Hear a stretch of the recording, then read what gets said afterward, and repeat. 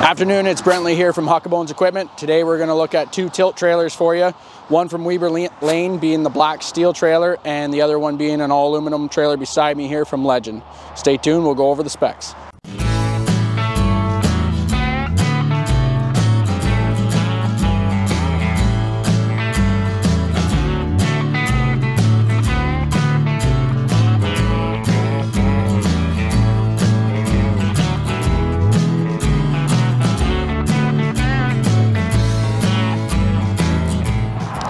All right, so we're gonna start today with Legends all aluminum tilt trailer. This is gonna be a gravity tilt, which means there is a cylinder on it, but there is a cushion cylinder. So there's a line lock that will let the oil flow back and forth so it doesn't just slam down. What you're gonna do is open the line. This will allow it to tilt. Yes, you're gonna have to walk on the back of the tilt to tilt it whenever it's empty, but driving something up, eventually once it you know crosses the gravity point, then it'll start tilting back down on a cushion. So that just allows it not to slam down.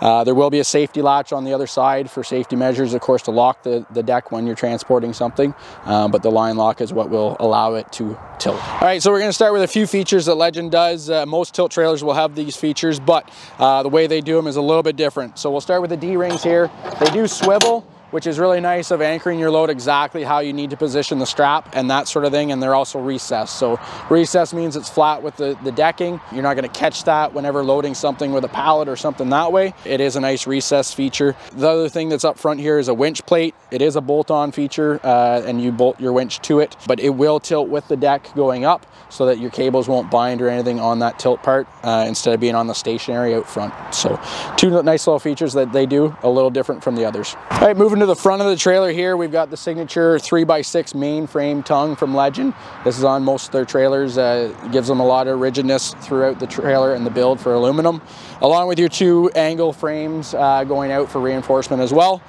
You got your drop leg jack, which is nice, quick and easy. Drop the leg down, uh, just saves cranking time. And then the 2 and 5 16 ball that's on front is a bolt-on coupler, standard, uh, just stationary. It's not adjustable. Uh, you'll see on the other trailer it will be an adjustable ball coupler because they can weld that bracket to the steel.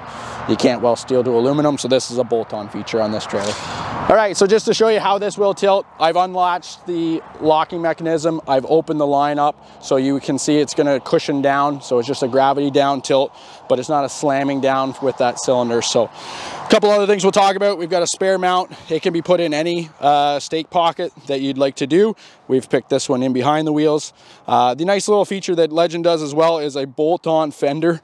Uh, so you can remove this fender if you've got a car that's uh, low profile you need to open that door, need a little more space place. You can take that fender off and gain that space. We'll talk about the axles and the tires here. We've got torsion axles on this trailer, uh, brakes on all four wheels. It is a 5,200 pound axle trailer, so five ton capacity. Uh, and then of course it's finished off with a nice aluminum rim and uh, 15 inch radial tire. All right, moving over to the Weberlane uh, steel trailer. This is an all steel frame. It is a little bit lower deck because of the drop axles. Instead of torsion axles, they do a drop axle. So want to get your trailer a little lower and that's uh, always great with the tilt angle, of course, for loading. A couple diff different things, couple same things we'll go over here. Uh, this is a five ton trailer as well. Uh, so 5,200 pound axles, drop axles, brakes on all four wheels, but you're back to steel rims, steel radial tire. The other thing it'll have is your winch plate welded on the front. It is part of the tilt deck, so again, it's going to tilt up with the deck, so you're not binding any wires or anything that way. You can mount the whatever winch size you'd like on that. D-rings are here. You are gonna have a nice stake pocket rub rail kind of thing where they just had stake pockets on the aluminum one. And then you do have a toolbox out front, which is kind of a nice feature of holding any of your gear. You could hold your battery for your winch, uh, that kind of thing. So a few, few options there that is a nice feature. So both trailers had a little bump stop. This is what I call a bump stop at the front here. Nice little feature with the steel trailer is they've notched these out to take a chain loop. So just again, another point for tying down could come in handy. Still a drop leg jack, but out front we talked about an adjustable 2 and 5 16 ball.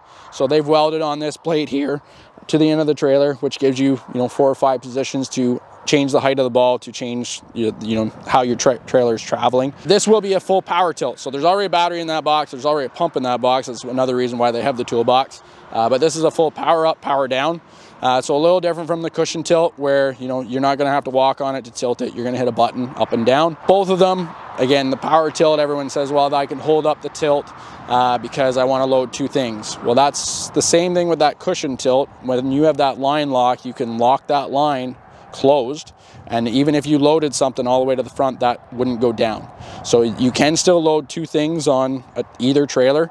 Um, if you didn't have that cushion tilt feature on that tilt then yes it would slam down uh, and you wouldn't be able to hold it up. But you can power it up power down. We'll do that in a second. Moving back again 5200 pound axles tandem axle all brakes on all four wheels, radial tires on steel rims. You're gonna have steel fenders that are welded, not removable, so a little difference again. You're gonna have a wood deck. The other one had an all aluminum deck. So in a sense, you're gonna save about a thousand pounds going to aluminum. Yes, it's gonna be more money, but the towing capacity is actually increased with the same axles because the trailer weight is a thousand pounds less. So you're actually gonna be able to haul a thousand pounds more on the same axle. So nice little feature there. Again, D-rings all the way around. There's actually eight of them on this trailer.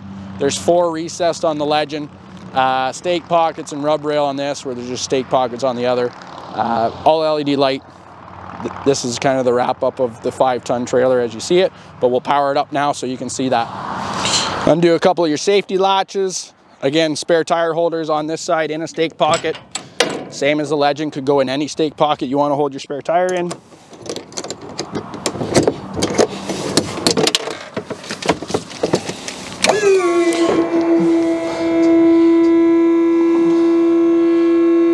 Push your button up. Push your button down.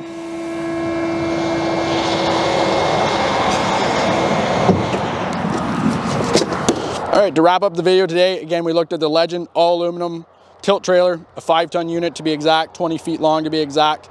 Uh, key features on this trailer, removable fenders, all aluminum flooring, uh, recessed D-rings. You do have your winch mount plate on this.